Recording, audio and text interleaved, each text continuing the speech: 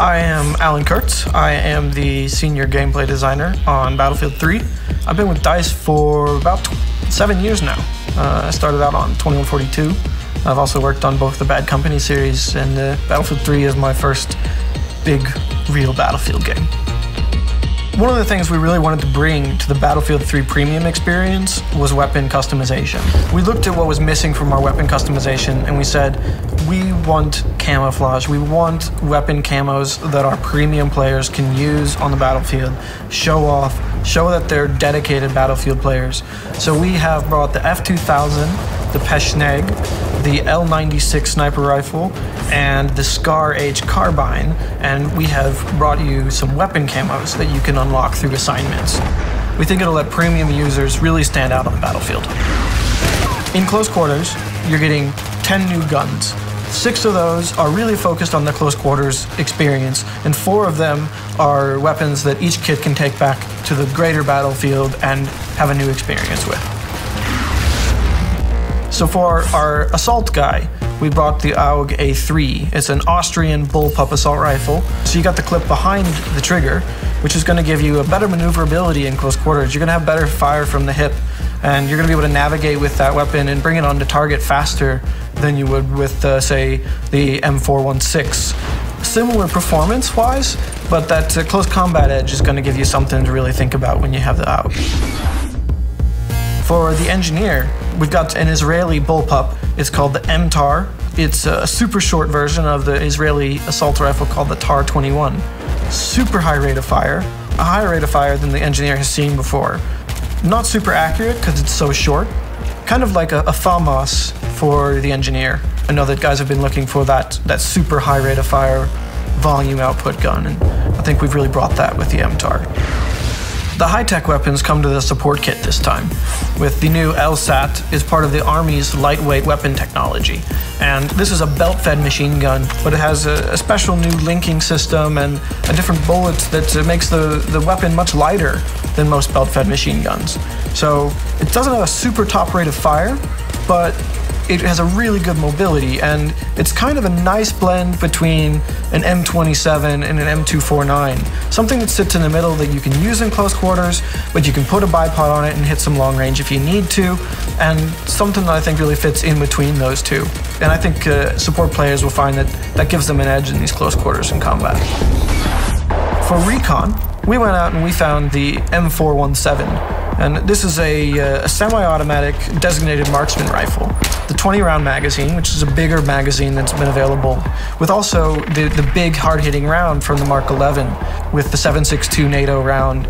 So you're going to get the power of the 7.62 NATO in a shorter, more controllable package and a bit more mobility. It doesn't have the accuracy that uh, the other semi-auto sniper rifles does, but it's definitely going to give you an option beyond just the SKS in a close quarters environment for playing recon, for being that team player with your beacon and with your tugs, and giving your players the intel and still being able to compete on a, on a close combat level when we look at weapons, uh, we've got the ones that are class specific. We also always have some all kit weapons, uh, our PDWs, our shotguns. And we looked at our personal defense weapons and, and we realized we didn't have something that was hard hitting up close with a good rate of fire. So we looked at the MP5K. It doesn't have a very big clip, but it fires a powerful 9mm round.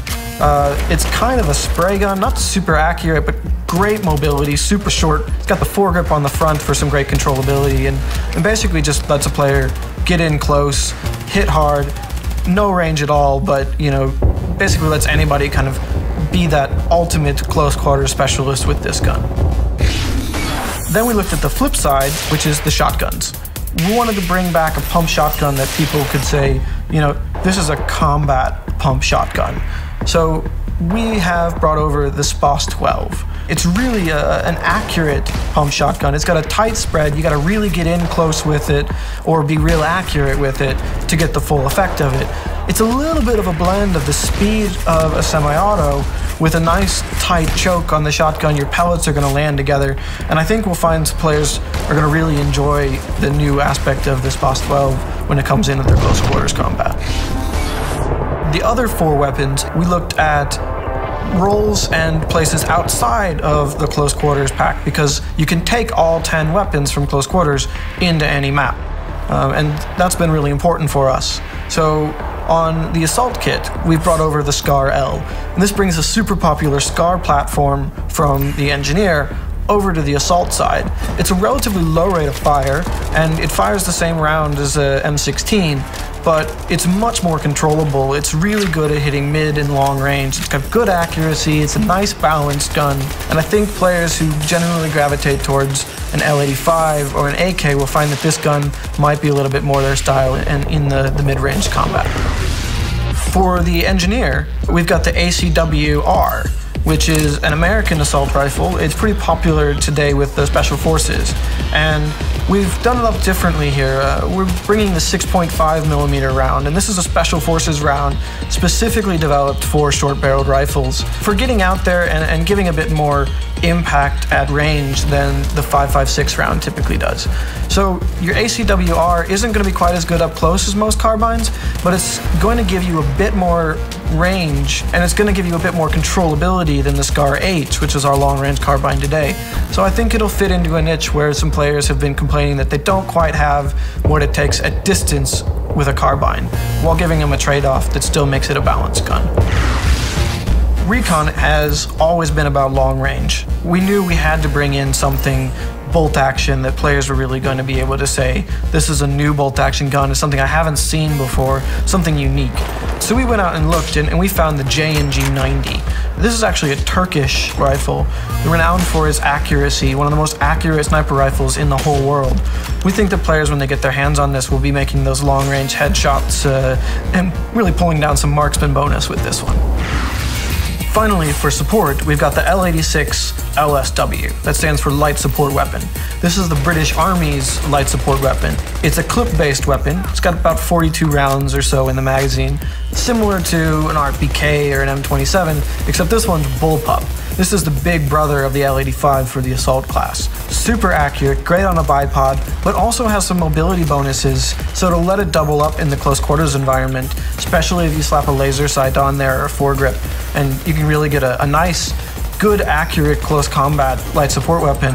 I think players who like the L85 will find a, uh, a support weapon that they can really go to in the L86.